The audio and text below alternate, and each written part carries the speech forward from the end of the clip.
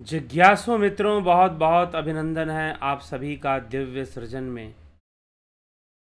प्रत्येक दिवस की भांति आज फिर हम यहाँ पर यह लाइव चर्चा का कार्यक्रम लेकर उपस्थित हुए हैं।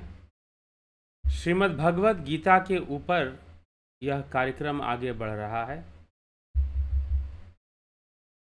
अब श्रीमद् भगवत गीता के अनुसार ही सारी चर्चाएँ चल रही हैं। और आज का विषय पंद्रहवें अध्याय से पुरुषोत्तम कौन है? पुरुषोत्तम योग नामक अध्याय। तो भगवान कृष्ण पुरुषोत्तम को भी समझाते हैं अर्जुन से। वैसे पुरुषोत्तम कहने का तात्पर्य क्या है? तो सीधी सी बात है कि पुरुषोत्तम अर्थात जो पुरुषों में उत्तम है। जो पुरुषों में उत्तम है, वही तो पुरुषोत्तम है। लेकिन इस बात को, यह बात तो चलिए, अपने शब्द से हमने इसका अर्थ निकाला कि जो पुरुषों में उत्तम है, वही तो पुरुषोत्तम है। लेकिन पुरुषों में उत्तम होने का क्या तात्पर्य? कौन सा पुरुष? ये हाड़ मांस का देह धारण करने वाला जो पुरुष है, उसकी बात की जा रही है? नहीं। तत्वरूपी पुरुष की बात की जा रही है जो तत्व रूप में है। तो पुरुषों में जो श्रेष्ठ है, वह पुरुषोत्तम है। लेकिन भगवान यहाँ पर इसी विषय को कैसे स्पष्ट करते हैं? आइए देखते हैं कि श्री कृष्ण भगवान कैसे क्या आदित्य गतम यत तेज अखिलम जगत भासयते, यत चंद्रमसी च यत अग्नौ तत तेज माम मामकम विधि। सूर्य को प्राप्त हुआ जो तेज संपूर्ण जगत को प्रकाशित करता है और तेज चंद्रमा में तथा और तेज अग्नि में भी, उस तेज को मेरा ही जानो। वह मेरा ही तेज है।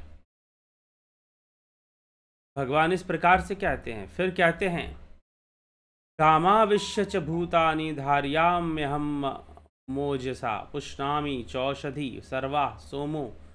भूतवा रसात्मका। मैं ही पृथ्वी में प्रविष्ट होकर अपनी शक्ति से समस्त जीवों को, प्राणियों को धारण करता हूँ और चंद्रमा होकर समस्त औषधियों को पुष्ट करता हूँ। अर्थात जितनी भी शक्तियाँ हैं प्रकृति की, उन सब में उसका वास। अहम वैश्वानरो भूतवा प्राणिनाम देहम आश्रिता। प्राणपान समायुक्ता प्राण प्रचामयन्न चतुर्विधम।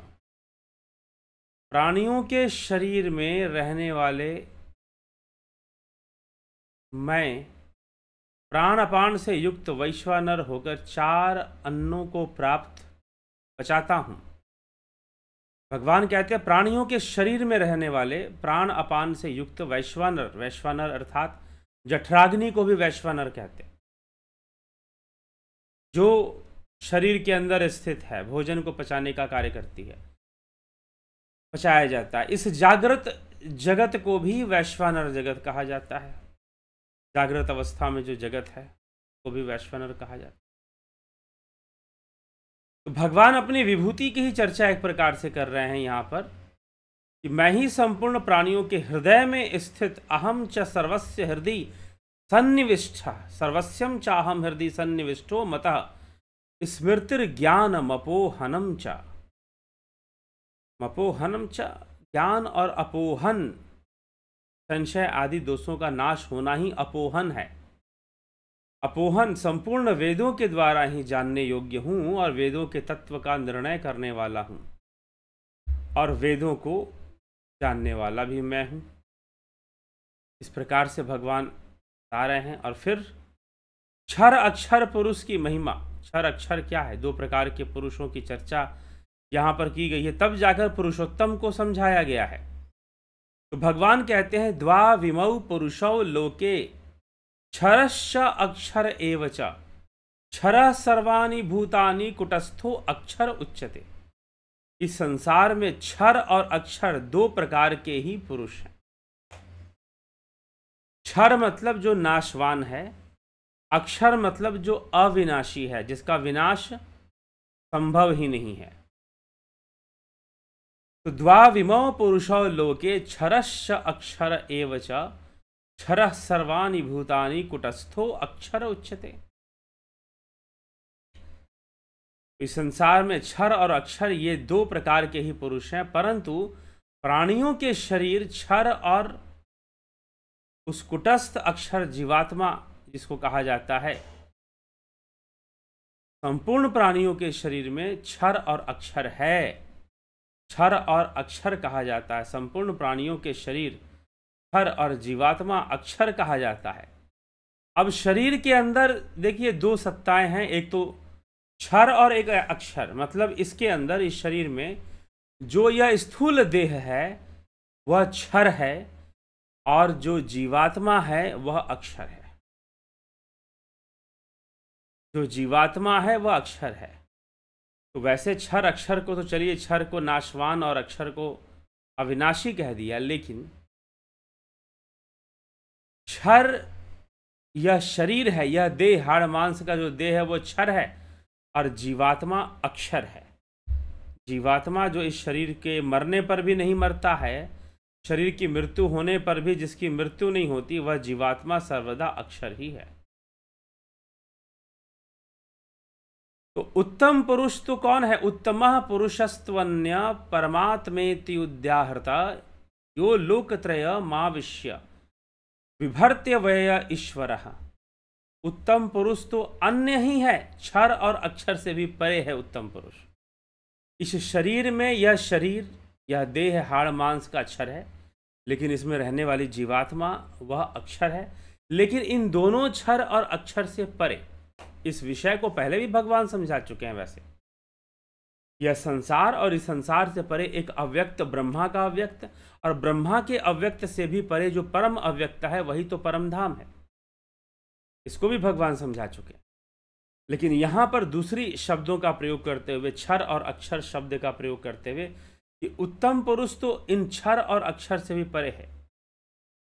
जो परमात्मा इस नाम से कहा गया है, अविनाशी ईश्वर तीनों लोकों में प्रविष्ट होकर भरण पोषण करता है।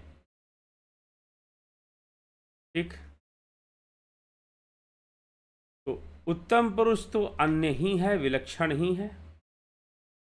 या उत्तम पुरुष ही पुरुषोत्तम है? तो जो परमात्मा इस नाम से कहा गया है, अविनाशी ईश्वर तीनों लोकों में प्रविष्ट होकर भरण पोषण करता है।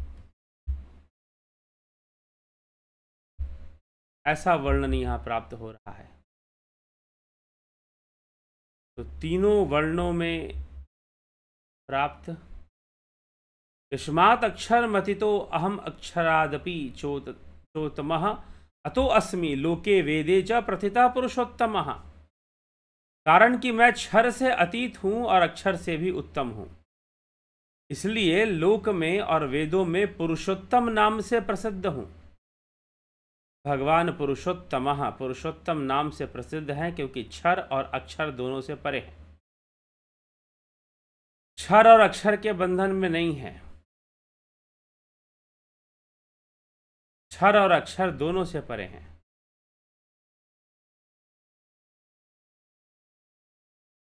क्षर से अतीत हूँ, अर्थात क्षर मतलब नासवान अक्षर मतलब अविनाशी। क्षर से अतीत और अक्षर से भी उत्तम, इसीलिए पुरुषोत्तम।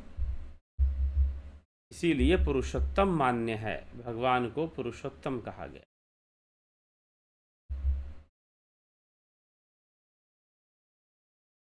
इसी पुरुषोत्तम की व्याख्या करते हुए भगवान कहते हैं, यो मामेव सम्मूढ़ो जानाति पुरुषोत्तम स सर्वविद भजती माम सर्वभावेन भारत।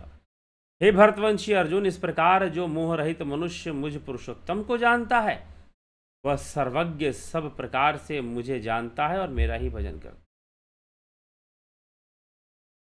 इसमें कोई तो जानना बहुत महत्वपूर्ण है। इति गुह्यतमम शास्त्र मिद मुक्तम मया नघ एतद बुद्धवा बुद्धिमान सत कृत कृत्यश भारत। हे निष्पाप अर्जुन, इस प्रकार यह अत्यंत गोपनीय शास्त्र। मेरे द्वारा कहा गया है, भरतवंशी अर्जुन, इसको जानकर ज्ञानवान और कृत्य कृत्य हो जाता है। एक जीव मनुष्य ज्ञानवान हो जाएगा और कृत्य कृत्य हो जाएगा। जब वह अत्यंत गोपनीय शास्त्र जो भगवान के द्वारा कहा गया है, उसका, उसको जान ले, उसका अध्ययन कर। तब जाकर तो क्षर और अक्षर पुरुष की चर्चा है। अर्थात यह विनाशशील जगत और फिर एक अविनाशी जीवात्मा और उससे भी परे। से भी परे। ईश्वर अंश जीव अविनाशी। जीव तो अविनाशी है, लेकिन उससे भी परे। वह परमात्मा है, वह परम धाम है। एक तो यह लोक है जिसको हम इंद्रियों से, इंद्रिय लोक कहेंगे हम, मृत्यु लोक कहेंगे। लेकिन इससे परे ब्रह्मा जी का लोक हिरण्य गर्भ लोक है। लेकिन इन दोनों से परे वो परम धाम है। भगवान का परम धाम है। तो हमें इस इस प्रकार से पुरुषोत्तम कैसे क्षर और अक्षर दो प्रकार के पुरुष हैं। क्षर हो गया शरीर, जीवात्मा हो गया अक्षर और इन दोनों से जो महान है, वह परमात्मा। उसकी जब बात आएगी, वह पुरुषोत्तम है। पुरुषों में क्षर, अक्षर दो प्रकार के पुरुष हैं तो इन दोनों पुरुषों से उत्तम तो पुरुषोत्तम है। स्वयं श्री कृष्ण है।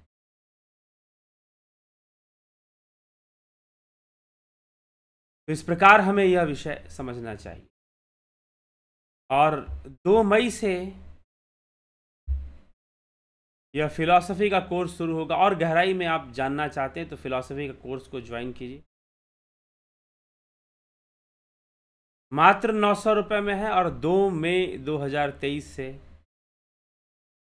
दो मई 2023 से यह शुरू होगा।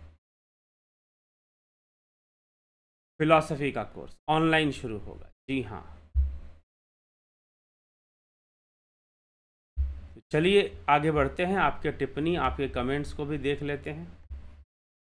अवधेश कुमार जी, संतोष कुमार जी, जगत नारायण जी, नवज्योति नाथ जी, विक्रम सिंह, नरेंद्र माकड़े, अवनी प्रधान, व्यास सिंह, गोविंद प्रसाद, नीमा कन्हई कुमार, योगेश खैरनर, विनोद के सूद, उत्कर्ष तिवारी जी अभिनंदन है आपका, श्वेता राय सिन्हा जी, अभिनंदन है। घनश्याम सरोदे, उषा श्रीवास्तव, सविता नायक ए के त्यागी, गोविंद प्रसाद कोरी, राजू पाल जी।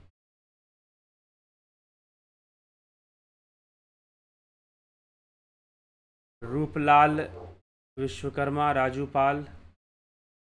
भरत छबलानी सविता नायक, योगेंद्र पंडित बहुत अभिनंदन है आप सभी का। धन्यवाद। भारत, सविता नायक जी, किशोर वैद्य, अर्जन भाई चौहान, सतीश कुमार, काशीनाथ जी। दैहिक, दैविक, भौतिक, तापा। दैहिक जो देह से हमें होने वाला है, दैविक, जो दैविक रूप से प्राप्त होता है, मानसिक रोग हो गए उसके अंदर। और कई तरह की बाधाएँ होती हैं, कई तरह की व्याधियाँ, प्रेत बाधा आदि भी उसमें माना जाता है। ठीक है? और भौतिक जो हमें प्रकृति से प्राप्त होता है, गर्मी, सर्दी, कई प्रकार के ताप हमें प्राप्त होते हैं, उनको कहते हैं। विनोद कुमार शर्मा जी, बहुत अभिनंदन है। चलिए, आज के कार्यक्रम को यहीं पर हम विराम देंगे। कल फिर मिलेंगे 9 पीएम लाइव चर्चा में। तो आप सभी का बहुत बहुत आभार। और फिलॉसफी का कोर्स ज्वाइन करना चाहते हैं तो ज़रूर ज्वाइन कर ले। दो मई से शुरू हो जाएगा। तो बहुत बहुत आभार आप सभी का। ओम तत्सत।